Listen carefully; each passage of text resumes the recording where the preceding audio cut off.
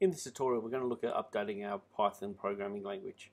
Whenever you're going to start a new programming session, it might be a couple of weeks or a couple of months, it's always a good idea to get the latest version.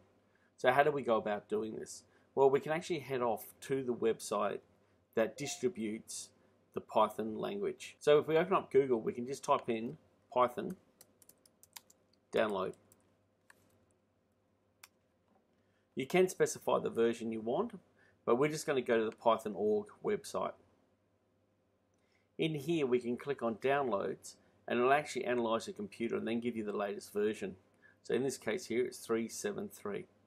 So to download it just click on this link. You'll notice down in the bottom I have a package file that's been downloaded. I can then click on it and open this. This will work much the same on a PC as well. So click on continue and install the latest version.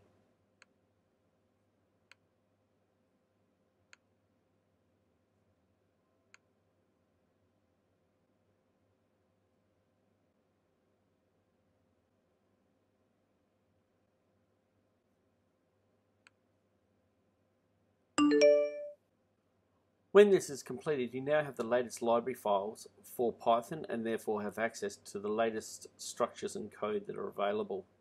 So all we need to do then is click close.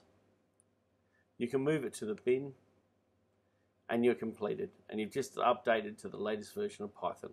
So if you found this tutorial useful, give it a like. Also subscribe to my channel. I wish you all the best in your programming ventures.